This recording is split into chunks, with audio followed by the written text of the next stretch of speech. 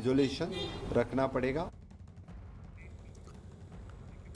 और इस वक्त एक बड़ी खबर आपको बता दें, चार दिसंबर को जैसलमेर जाएँगे अमित शाह। इस वक्त की बड़ी खबर, जैसलमेर बीएसएफ पोस्ट का दौरा करेंगे अमित शाह।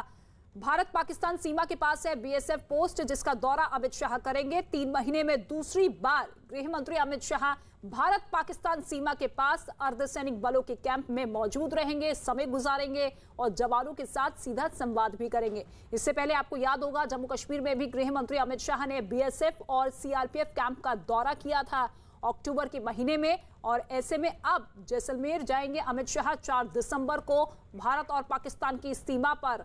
वक्त गुजारेंगे। अमित पांडे इस वक्त हमारे साथ मौजूद है। अमित, क्या कुछ जानकारी अमित शाह के इस कार्यक्रम को लेकर?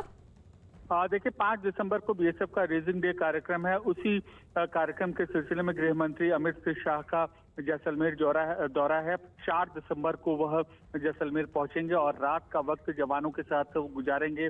बीएसएफ कैंप में गुजारेंगे। ये कैंप भारत पाकिस्तान सीमा के पास राजस्थान में है, जिसके बाद पाँच तारीख को रेजिंग डे का कार्यक्रम है बीएसएफ का। उस कार्यक्रम में हिस्सा लेंगे। पहली बार बीएसएफ का जो रेजिंग डे का कार्यक्रम है, दिल्ली से बाहर हो रहा है, जैसलमेर हो रहा है। तो गृह मंत्री की यह यात्रा जवानों का मनोबल और हौसला बढ़ाने के लिए है।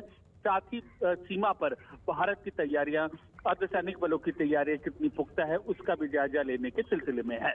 शुक्रिया अमित इस तमाम जानकारी के लिए। आज़ाद भारत के पिचहत्तरवे साल पर।